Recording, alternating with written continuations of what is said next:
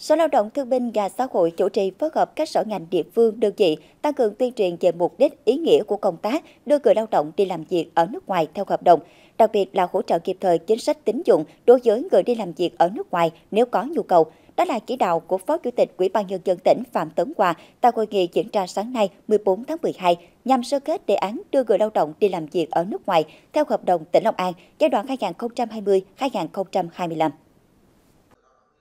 Công tác đưa người lao động đi làm việc ở nước ngoài được các cấp ngành địa phương quan tâm, nổi bật là ký kết triển khai bản ghi nhớ hợp tác trên lĩnh vực lao động với tỉnh Ibaraki, Nhật Bản, ký kết biên bản thỏa thuận hợp tác với doanh nghiệp có chức năng đưa người lao động đi làm việc ở nước ngoài, thông tin tuyên truyền qua hoạt động tư vấn, hội thảo, sàn giao dịch việc làm lưu động, các phương tiện truyền thông, chương trình sinh hoạt quốc hội, đoàn thể. Từ năm 2020 đến nay, Long An được hơn 1.580 người lao động đi làm việc ở nước ngoài, trong đó chủ yếu là thị trường Nhật Bản với hơn 1.350 người, chỉ đạt hơn 28% so với kế hoạch cả giai đoạn 2020-2025 để góp phần hoàn thành mục tiêu đề án đưa người lao động đi làm việc ở nước ngoài theo hợp đồng tỉnh Long An giai đoạn 2020-2025. Phó Chủ tịch Ủy ban nhân dân tỉnh Phạm Tuấn Hòa mong muốn chính sách tín dụng được phổ biến rộng rãi, qua đó giải quyết kịp thời nhu cầu vay vốn của người lao động.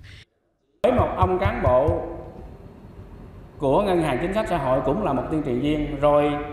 cái bộ tứ của mình, cái cái đơn vị quỹ thác của mình đó cũng là một cái tuyên truyền viên. Thì anh nói cái này, các hộ gia đình khó khăn về tài chính khác.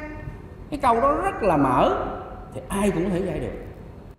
Phó Chủ tịch Ủy ban nhân dân tỉnh cũng chỉ đạo Sở Lao động Thương binh và Xã hội xây dựng kế hoạch ngắn hạn và dài hạn, đồng thời trong quý 1 2024 tập trung cụ thể hóa chương trình làm việc sau chuyến công tác Nhật Bản vừa qua do Bí thư tỉnh ủy, Chủ tịch Hội đồng nhân dân tỉnh Nguyễn Văn Được làm trưởng đoàn. Trường Cao đẳng Long An triển khai đào tạo nghề, ngoại ngữ, định hướng cho lao động làm việc ở nước ngoài. Các sở ngành tỉnh, địa phương tùy chức năng nhiệm vụ tăng cường lãnh đạo, triển khai hiệu quả đề án.